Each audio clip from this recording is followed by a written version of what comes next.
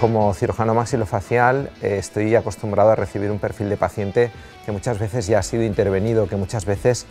ya eh, de alguna manera ha perdido la confianza y que anatómicamente presenta unas situaciones muy desfavorables. Para mí un implante que aporte algo más, que tenga un poco más de retención, que tenga una superficie buena, que me permita eh, a lo mejor llegar donde otros no llegan,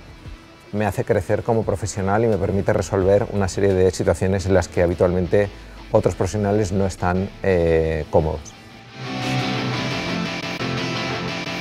El BLX me ha aportado mucha estabilidad, eh, versatilidad y luego es un implante que me da seguridad. Estoy utilizando mucho el implante de diámetro estrecho, pero a veces eh, el diámetro intermedio entre el 3.3 y el 4.1 es una situación que se acomoda bastante a la anatomía de muchos defectos, sobre todo en implantes post-extracción, en incisivos, eh, creo que es una, es una medida bastante acertada. Yo lo recomendaría, es una herramienta más en la caja de herramientas que tenemos que tener.